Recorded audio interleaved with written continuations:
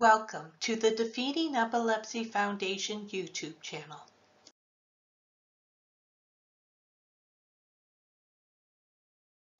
In this presentation, we will discuss what carbamazepine is, the history of carbamazepine, how carbamazepine works, side effects, and risks. Make sure to like our videos and subscribe to our YouTube channel. Click on the bell to be notified of future videos please click on our donate link in the description section below and donate today. Your donation helps us to make a difference for those battling epilepsy. We appreciate your support. This presentation is for educational purposes only. Any questions you have regarding your current medication, changes, or any level of treatment, please contact your physician for any medical advice. The Defeating Epilepsy Foundation provides only educational resources and will not provide any medical advice when it comes to medication or treatment. According to Mayo Clinic, carbamazepine can also be used to control seizure activity. Carbamazepine can also be used as a mood stabilizer and to manage pain. Carbamazepine is categorized as an anticonvulsant. Carbamazepine is also known as Carbitrol, Epitol, Equetro, Tegretol, and Tegretol extended release. Carbamazepine was discovered by chemist Walter Schindler in Switzerland. Carbamazepine was first marketed to treat trigeminal neuralgia in 1962 and then as an anticonvulsant in the UK in 1965. Carbamazepine has been FDA approved in the United States since 1968. Conditions such as epilepsy, bipolar disorder, trigeminal neuralgia, ADHD, schizophrenia, phantom limb, complex regional pain syndrome, borderline, and post-traumatic stress disorder can be treated with carbamazepine. According to PubChem, Carbamazepine treats seizures and symptoms of trigeminal neuralgia by inhibiting sodium channels. Carbamazepine causes the effects by binding to the voltage-dependent sodium channels and preventing action potentials, which normally leads to stimulatory effects on nerves.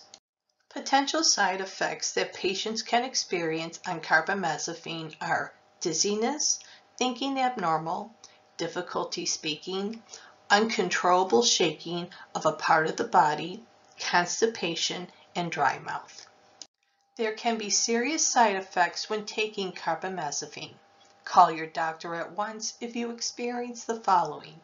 Confusion, rash, fast, slow, or pounding heartbeat, yellowing of the skin or eyes, dark urine, pain on the right side of your stomach area, loss of appetite, nausea or vomiting, vision changes, fatigue, swelling of the face, eyes, eyelids, lips, or tongue, difficulty swallowing or breathing, headache, increase in seizures, difficulty concentrating, confusion, weakness, unsteadiness, severe rash with one or more of the following, fever, muscle aches or pains, red or swollen eyes, blisters or peeling skin, mouth sores, swelling of the face or neck.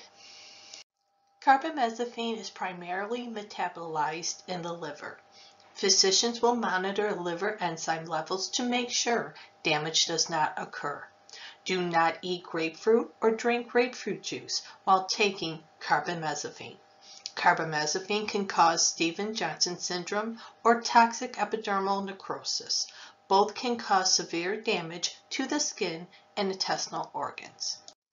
In conclusion, carbamazepine is an anticonvulsant that can be used to treat seizures, mental illness, and trigeminal neuralgia. Conditions such as epilepsy, bipolar disorder, trigeminal neuralgia, ADHD, schizophrenia, phantom limb, complex regional pain syndrome, borderline, and post-traumatic stress disorder can be treated with carbamazepine. Consult with your doctor before making any changes to your treatment plan. To learn more about carbamazepine, please check out the resources used in the presentation today. Please like and subscribe to our YouTube channel and follow us on our social media pages. We would love to hear from you. Leave a comment below or email us at info at defeatingepilepsy.org. Thank you for your support and together we will defeat epilepsy. Check out our other great videos and subscribe today. You have the power to defeat epilepsy.